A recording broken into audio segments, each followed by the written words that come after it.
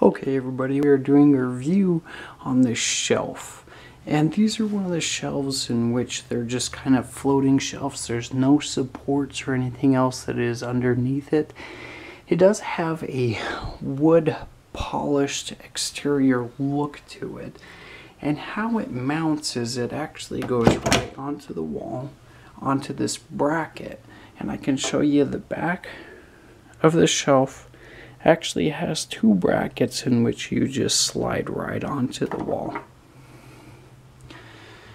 So when you are mounting this to the wall, there are a series of holes in which you can do your screws through. If you're just putting a light amount of weight on there, I do not see that you may have to actually find the studs in order to, in, to install this. But if you do plan on putting some larger picture frames or anything with a little bit more weight on there, that is what you would want to do is to find the studs. Uh, something that can help you is on the actual product here and this is what I used. Uh, we got it at Target for no more than $30 so here's the brand. And during installation they actually include on the box a template.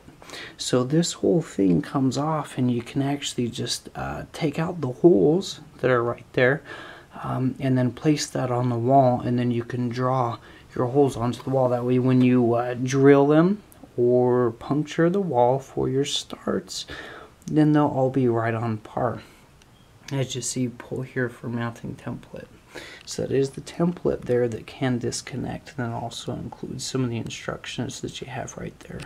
So again, this is for the threshold quality and design uh, one wall shelf. And this is a floating shelf with a wood finish. Now to put it back on, all you have to do is slide the shelf right up against the wall.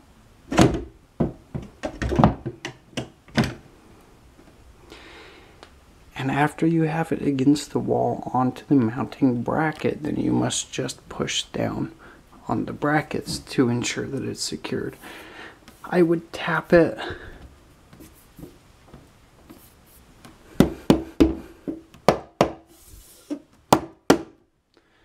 On both sides just to make sure that it is solid and secure on the wall. And there's your floating shelf.